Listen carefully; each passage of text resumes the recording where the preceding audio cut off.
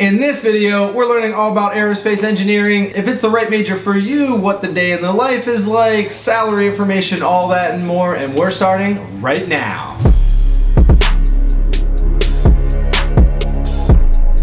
Hey 1% Nation, I'm Jake Voorhees, and welcome back to the 1% Engineer Show, where we empower young engineers to rise to the top 1% of their career. So if this is you, make sure you hit the notification bell and subscribe. Check out the links below for access to the Discord server with 850 engineers, the free 1% Engineer Kit, which is five ebooks for your success. Links to the Instagram page help us get to 500 followers. And of course, where you can sign up for a free Thangs account where you can host a portfolio online. Who wants to be an aerospace engineer? In fact, who is a mechanical mechanical engineer who's interested in aerospace engineering. I get so many of those questions. If that's you, comment below. What do you need help with? What questions do you have? What type of video should we make next? Leave it in the comments. We're back to streaming regularly now, every Thursday at 8 p.m. Eastern Time. Go ahead and check out the live stream on YouTube. This video features another 1% engineer star, Abir Achi. She's a YouTuber living in Phoenix, Arizona who has her undergraduate and her master's degree in aerospace engineering. She has lots of great videos about her career, what it's like to be an aerospace engineer, how she knew it was for her, what the day in her life is actually like, all of that and more. Go ahead and check out Abir's YouTube channel after this video, guys, for more great content. And without further ado, let's get started with our first question to Abir. What is aerospace engineering? What problems does it solve? And what are are the branches? Aerospace engineering is an engineering field focused on the design, development, testing, and manufacturing of aerospace systems like aircraft, spacecraft, launch vehicles. This field is mainly focused on problems related to atmospheric and spaceflight. There are two branches in aerospace engineering aeronautical engineering and astronautical engineering. Aeronautical engineering is focused on flight within Earth's atmosphere. Astronautical engineering is focused on the design of spacecraft and launch vehicles. So pretty much anything that goes beyond Earth's atmosphere. Thanks, Sophia, for that. I don't think most people think about aerospace engineering in that fashion, that you have half of the industry within orbit and half of the industry outside of orbit. That's the difference between aeronautical engineering and astronautical engineering. Astronautical is out in outer space, aeronautical is within our atmosphere. There's a huge difference. Elon Musk talks about this all the time is that in order to maintain orbit, you only need horizontal acceleration that offsets the force of gravity or the acceleration of gravity. But in order to get into outer space and get outside of our atmosphere and outside of that gravitational pull, it takes so much more energy. And it truly is a whole nother classification, a whole nother different world of engineering. So with that being said, what do aerospace engineers do, Abir? Aerospace engineers are mainly focused on designing technologies that can be integrated into aerospace systems.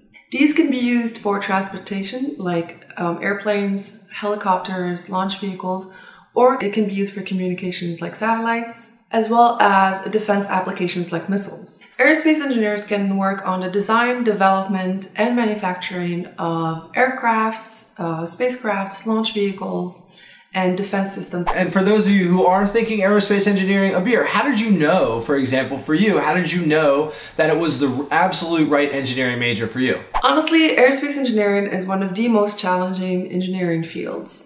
And it's important to realize that it might not be for everyone. Personally, I decided to pursue aerospace engineering, specifically astronautics, due to my fascination and love for space exploration. In my opinion, it might be a little bit difficult to determine how and is really aerospace engineering for you, but I think uh, there are some questions you, you need to ask yourself. For example, do you like math and physics and are you good at it? Or are you willing to spend the effort and the time that is necessary for you to improve on math and physics to a level that is above average. Math is the language of aerospace engineering. I use principles of math and physics every single day as an aerospace engineer. So it's important to understand that you will be pretty much in every aerospace engineering class. Um, it's kind of not even a thought that you need to know um, principles of math. For example, um, if you're in aerodynamics class, you will be using Calc 3, you will be using differential equations. Um, it's not like the professor will announce that and be like, for this one, we're using this type of equation. They just assume that you know all of that. So it's important to understand that there will be a lot and a lot of math and physics in aerospace engineering. And if you do not enjoy math and physics, then aerospace engineering is definitely not for you. Yeah, that's right, Abir. There's a ton of math and engineering, really, no matter what type of engineering you study. Particularly for aerospace, all the physics, all the thermodynamics, it is a very complicated branch of engineering. The second important question, in my opinion, is do you like to code? I use a multitude of softwares and coding languages, namely MATLAB, Simulink, and Python. Um, you have to be able, as an aerospace engineer, to learn new coding languages. For example, uh, when I started as an aerospace engineer, I had to learn Perl, which before that I've never really heard of. Um, so it's not necessarily going to be only within college, but after you graduate and you start working as an aerospace engineer, you're going to have to be able to learn coding languages. So if you don't like to code, then aerospace engineering is not going to be for you. Thanks for adding that, Abir. Maybe not aerospace engineering is for everyone out there, which is why I talk so much about choosing one of the big three, electrical, civil, or mechanical engineering. And therefore, for the mechanical engineers who are interested in aerospace engineering, you can study mechanical and then go into aerospace, but uh, Abir didn't do this. Sometimes people really know what they want to do. Abir, it's great to know that you're one of those people who you had a passion for it going into your undergrad, and then you continue to study aerospace engineering even into your master's degree degree. She was 100% confident about that field. So for you guys wondering mechanical versus aerospace, you have to assess how confident are you? What are your instincts? If you want to go more broad, that's totally fine. If you want to isolate and you really know what's for you, go for it. Do you like working with ideas that require an immense amount of thinking and innovation? As aerospace engineers, we are faced with new problems every day, so developing a solid problem solving skills are extremely important in, in this field. Um, of course, there are other questions uh, and, and points that you need to focus on when deciding whether aerospace engineering is for you, but these are just kind of the generalized questions that I think are important to asking yourself when you're trying to decide whether or not you want to pursue aerospace engineering. Okay, thanks for that. Now let's talk salary stuff. So many people want to know how much do aerospace engineers make? Can aerospace engineering make me rich? Aerospace engineering salaries vary dependent on whether you're in aeronautics or in astronautics. Um, do you work for a government agency like NASA or do you work for a private company like Lockheed Martin and Northrop Grumman?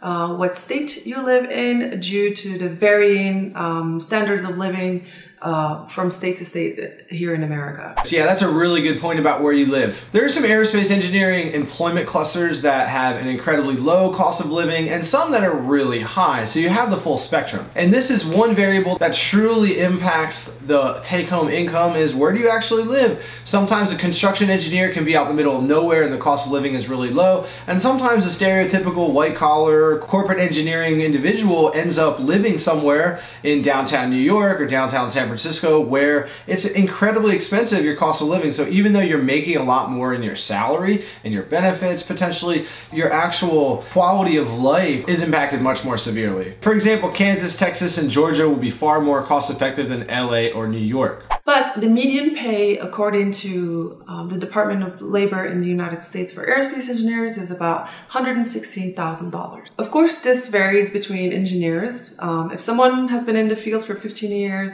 of course, they're going to be ma- making much more money than someone who just came out of college. So that's something that's important to keep in mind. But I did make a video recently on my channel about how much aerospace engineers make.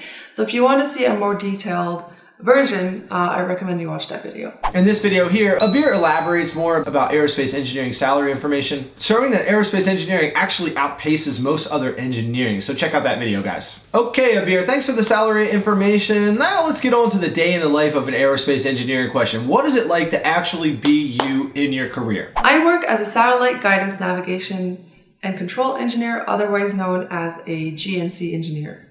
A satellite guidance and navigation control engineering is a uh, focus or specialty in astronautics that deals with the control uh, and movement of spacecrafts in space or in orbit around a planet.